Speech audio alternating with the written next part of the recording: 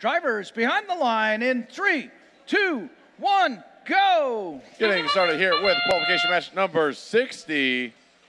We got a couple shots going out for the hub on the autonomous period. And there's two for the blue and one for the red. One from 8088. Oh, and the human player for the Blue Alliance as well. Giving them a total of three. To the Red Alliance is one. And now coming out of that autonomous period into the teleop. We have teams picking up their cargo, 88-79, ready to shoot in that lower hub. While 7521 matches them by shooting in the upper hub. Even though they only shot one cargo, it's worth twice the points as the lower hub. And two go up and in for the Red Lions from 80-88 into that upper hub. Looks like we're going to have lots of offense here. Everyone trying to score as many cargo as they can. R3679 pushes the Blue Alliance out of the way, trying to get into that lower hub. And they get two in there, making them halfway or over halfway to their ranking point goal of 20 for the Red Alliance. Meanwhile, 8879 lines up to shoot. And then 3679 playing some major defense here on 8573. While 8108 shoots for that upper hub. Two shots go in for the Blue Alliance, made by 85-73 on that lower hub. Meanwhile, 36-79, lining up to shoot.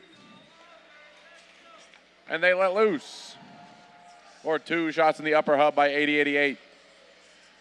Only four more remaining to get that ranking point with 45 seconds left in the match. Meanwhile, on the blue line, 75-21 going to hang on that low, that mid rung.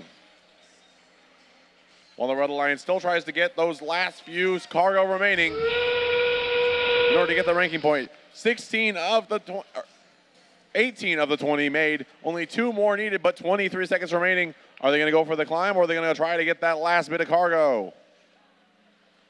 Looks like 3679 is going to try to climb while 8088 joins them. 88-79 trying to clean up those last few shots with 10 seconds left. 75-21 has made it all the way to the traversal rung, though, and 85-23 to the mid. And that's the match.